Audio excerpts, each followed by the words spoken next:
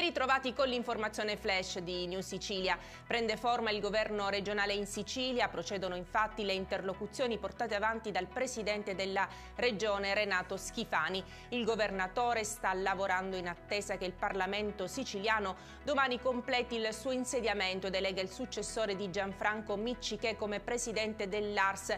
Probabilmente sarà Gaetano Galvagno. Marco Falcone, Edita Maio, Luca San Martino, Vincenzo Figuccia, Roberto Di Mauro Nuccia Albano, Giusi Saverino i possibili assessori.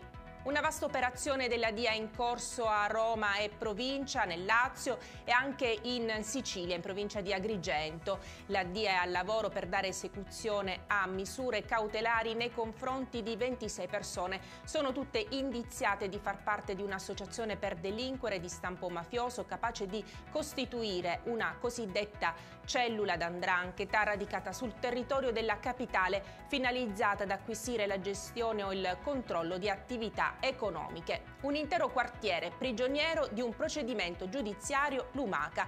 Per decidere del futuro dell'edificio abbandonato di via Cronato a Catania si aspetta forse il suo crollo è la domanda che pone il comitato eh, Romolo Murri attraverso il suo presidente Vincenzo Parisi. L'ennesimo immobile abbandonato che poteva essere valorizzato ed è finito nel dimenticatoio. Parliamo di un immobile che andrebbe abbattuto il prima possibile per il bene e la sicurezza di tutti.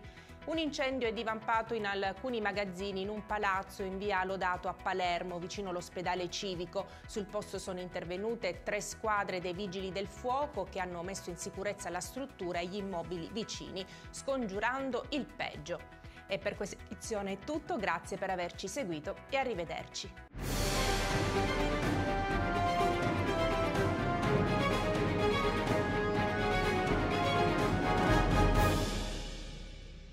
Procar, centro assistenza autorizzato BMW e Mini, adesso anche BMW Motorrad, via George Marshall 7, Mister Bianco, Catania.